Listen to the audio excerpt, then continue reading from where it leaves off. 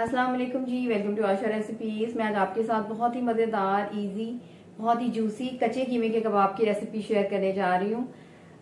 बहुत ही मज़ेदार recipe ready हुई है बहुत ही सिंपल बहुत ही इजी रेसिपी है और बहुत ही जूसी हमारे कबाब रेडी हुए हैं। आए देखते हैं इसमें इसमें कैसे रेडी किया अस्सलाम शुरू करते हैं जी बिस्मिल्लाह रहीम से। आप देख सकते हैं कितने मज़ेदार हमारे कबाब रेडी हुए हैं। सिंपल सी रेसिपी है लेकिन बहुत ही मज़ेदार कबाब रेडी होते हैं। इंग्रेडिएंट्स दिखा देती हूँ। दो बड़े साइज़ के मैंने प्याज लिए थे, इनको ग्रेट कर लिए। ग्रेट करके पानी आपने इसका निकाल देना है। दो इंच का अदरक का टुकड़ा लिया था मैंने। आधी गड्डी मैंने यहाँ पे ली थी धनिए की। पुदीना लिया था, तकरीबन वन फोर्थ गड्डी लगा लें। तीन से चार मैंने ग्रीन चिलीज़ ली थी। तमाम चीज़ों को बारीक बारीक से आपने कद्दूकश कर लेना है, काट लेना है।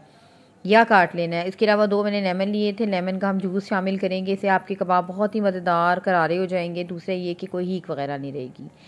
स्पाइसेस में one and half table spoon नमक one and half table spoon red chilli powder one teaspoon black pepper one teaspoon ज़ीरा powder one teaspoon garam masala powder one and half table spoon भुना हुआ कुटा हुआ धनिया और one fourth tea spoon काला नमक ऐड कर रही हूँ।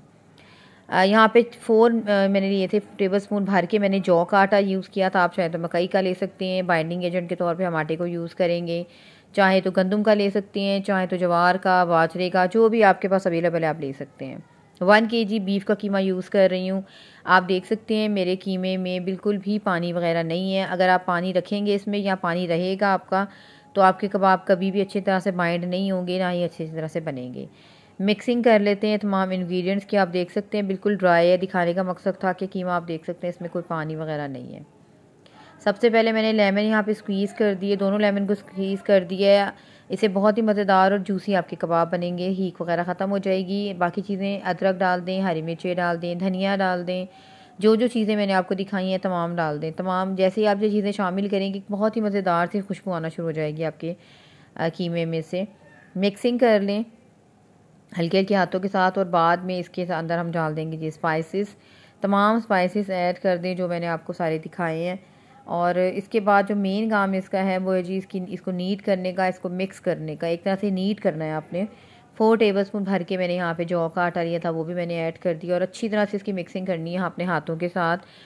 खूब अच्छी तरह से, एक तरह से नीट करना है अपने कीमों के, कीमे को कि तमाम चीज़ें यकजान हो जाए, उनका तमाम का चीज़ों का फ्लेवर जो है वो कीमे में अच्छी तरह से चला जाए और बेहतरीन किस्म के आपके कबाब बने।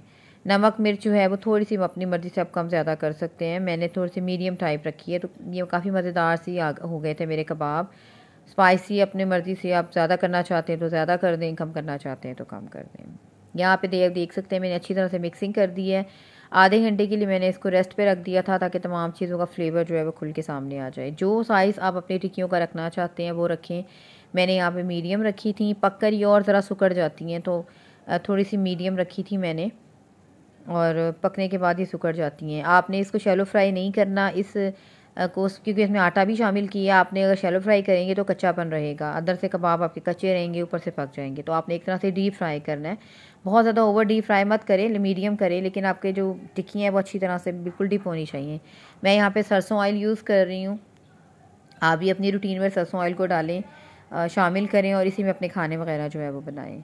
आप देख सकते हैं कितनी ज़बरदस्त इसकी लुक आई है। मीडियम मैंने फ्लेम रखी हुई थी, यानी आपका ऑयल अच्छी तरह से गर्म होना चाहिए। उसके बाद मीडियम लो फ्लेम पर इसको पकने दें। बहुत ही मज़ेदार से कबाब जो है वो हमारे रेडी हैं।